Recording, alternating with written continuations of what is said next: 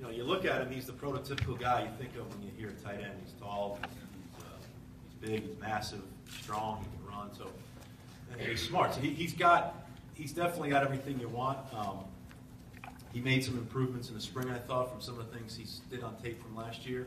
Um, he, he needs to be dominant.